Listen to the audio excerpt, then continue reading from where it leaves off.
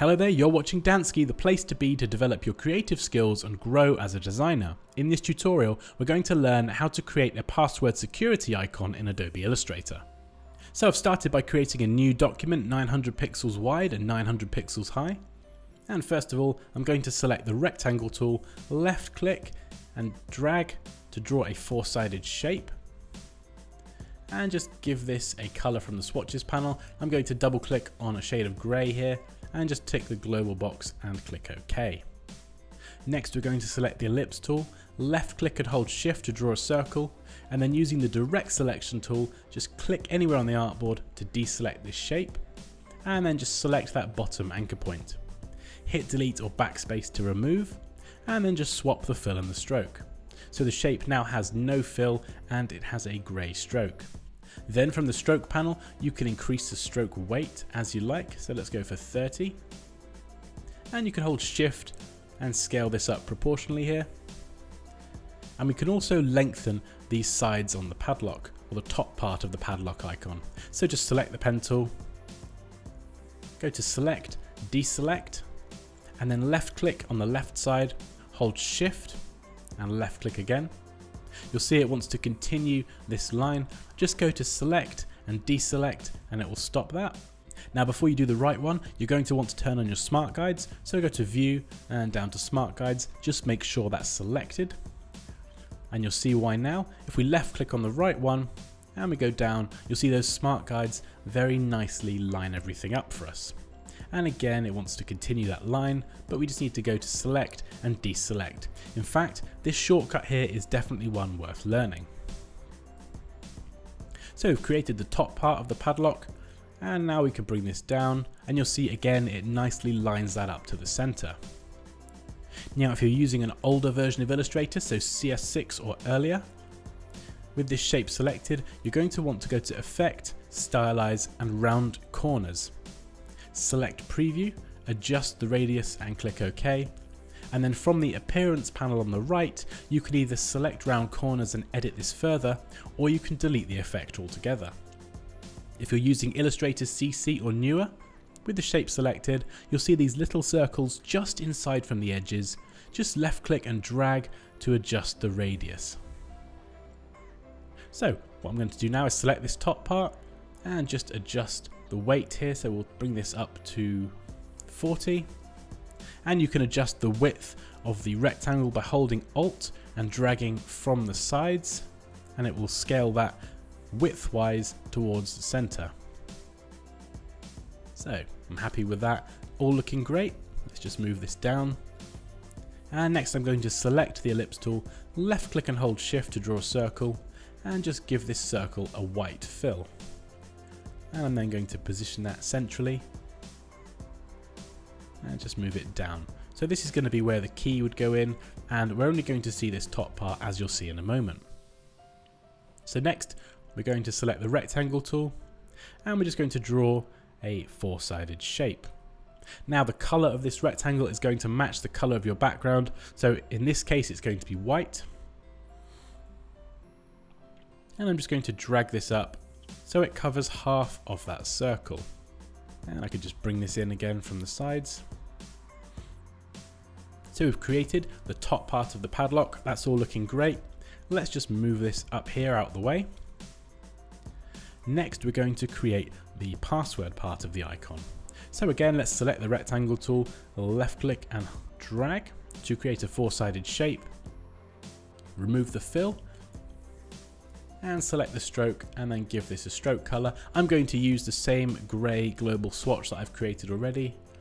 And in the stroke panel, I'm going to type 40 as the stroke weight, just so we're consistent with the padlock icon above. And then you can round off the corners however you like. It's probably best to round off the corners in the same way that you did in the steps previously. So we've rounded off the corners here and in the stroke panel you can align the stroke to either the center, the inside or the outside and you'll see you get varying results. So let's align this to the outside to continue that nice consistent curve both on the inside and the outside of the stroke. Now to create the asterisks you can select the type tool and you can type the asterisk symbol like so and choose a font. Alternatively, you can select the line tool, just left click and drag holding shift to create a perfectly straight line. Again, we'll give this the same color and adjust the weight of this. So let's go for, let's go for 20. And with that line selected, go to edit, copy, edit, paste in place, and just hold shift and rotate from the corner. And then again, select both these shapes by dragging over them and go to edit, copy, edit, paste in place, and rotate from the corner holding shift. And this time we're going to stop at 45 degrees. It will snap nicely in place. And there's an asterisk. In fact, I'm just going to adjust that. So I'm going to go and undo the last few steps. That's Command or Control Z. And I'm just going to use the direct selection tool to just lengthen this line a bit. So let's do that again. Edit, copy, edit, paste in place. Hold shift and rotate. Drag over these. Go to edit, copy, edit, paste in place hold shift and rotate 45 degrees. There we go. That's a little bit more like an asterisk. And I can select that and go to object group and we'll move this into position down here. And then I'm just going to left click and drag holding alt and shift to create a copy. And I can repeat that last action by pressing command or control D. And I'm just going to lengthen the box a little bit because what we're going to do is double click on one of these to go inside and we can move these around individually if we like. You'll see from the top left that we are now inside this group. So I'm going to select the horizontal line and go to edit copy. So that's now copied to the clipboard. We can come out of this group by clicking the back arrow. So we're exiting isolation mode. And I'm going to zoom in and go edit, paste in place and just move this down so that it lines up with the bottom and then either use the mouse or the arrow keys just to shift that out to the right. So one last thing we can do is drag over everything and hold shift and left click on the rounded rectangle to deselect it. So it's just left us with these objects selected in the middle and from the alignment options at the top, we can select horizontal distribute center. If you're on a smaller display and your alignment options aren't at the top, they will be here on the right hand side, or you can go to window and down to align and they will appear. So let's just click on this, horizontal distribute center, and you'll see it adjust the spacing so each of these objects is now spaced equally apart. And all of those are central within the rounded rectangle so that is all looking good. So we can drag over this, move this up here, make sure that it's central to the padlock part of our icon, and just position it in place. So there we go, we've created our icon, it's looking great. What we need to do though is if we go into outline mode, that's Command or Control Y, we've got lots and lots of different strokes, lots of different shapes, and we're going to need to tidy this up. Because if I scale this down, you'll see that all those strokes still remain editable and it doesn't adjust the stroke weight. What you can do is go to the transform panel and select the drop down from the top right and select scale strokes and effects. As you hold shift and scale this down, it will scale those strokes with the shape. So that's one thing that's quite handy. However, what we're going to do is we're going to finish this icon off a little bit more. So let's just keep an editable version over here and just hold Alt and Shift and drag this version back onto the artboard. This is the version that we're going to be working on. And we're going to select each of these shapes in turn and just expand them where necessary. So we've got the top part of the padlock. This is still an, an editable stroke. So if we go to Object down to Expand, leave Fill and Stroke selected and click OK, you'll see that it goes from being an editable stroke to a shape in Illustrator, so we can't easily edit the width anymore from the stroke panel. And the shape now has a fill. Now if we select the rounded rectangle here, If you rounded off your rectangle by going to Effect, Stylize and Round Corners, what you'll need to do is with this shape selected, go to Object and expand and repeat the steps that we did a moment ago. However, if you rounded off the corners by dragging these little anchor points here, what you'll need to do is go to the Pathfinder panel and just select Unite with that shape alone selected.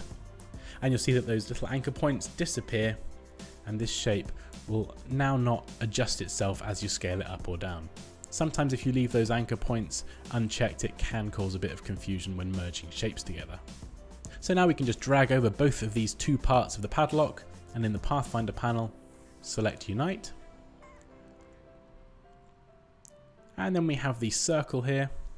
What we can do is left click on that, hold shift and select the grey part of the padlock. And in the Pathfinder panel, select minus front. If I just add a background color behind everything. So let's pick a bright red. So you can see we've still got this big white box.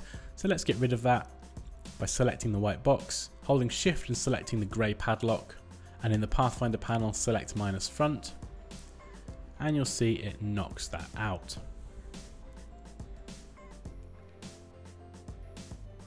And we can get rid of this red background now. So the top part of our padlock is all now one shape, so that's all looking good. Next, let's select the rounded rectangle and again, depending on how you round it off, your rectangle, you're going to want to go to Object and Expand or Expand Appearance, or use the Pathfinder panel. Now because this shape has a stroke and not a fill like in the last step, we're going to want to go to Object and Expand Appearance for this one. It's very different whether you're using a fill or a stroke that you need to expand. So that seems to have done the job there. Let's just check by scaling this up, holding shift and scaling it down. Okay, so that stays proportional. That's all good. So next, let's hold shift and select all of these asterisks and the line and go to object, expand, leave fill and stroke selected and click OK. So they all look good. Let's drag over those. And again in the Pathfinder panel, select Unite and you can see what this is doing here. All these different shapes just nice and tidily combined into one. And we can drag over all of these icons in the bottom part and we can go to object and group. So now as we move this around, they all move around together as one. And we can select both parts of our icon by dragging over and then from the alignment options select horizontal align center and we can then drag that into the center of the artboard. Move this up holding shift. And then with everything selected, go to object, group, and drag from one of the four corners holding alt and shift and it will scale down towards the center. And we can then select this icon at the top and instead of align to selection, change that to align to artboard. And we can align this horizontally and vertically in the center of the artboard. Now one last thing we're going to do is just add some color. So with the direct selection tool, we can just select individual parts of this group without needing to go inside in isolation mode. So let's just select a color here. Make sure that you have the fill selected and not the stroke. And let's go and pick a color for this. Let me just adjust this. Make sure preview is also selected, just so you can see your color as you adjust the sliders.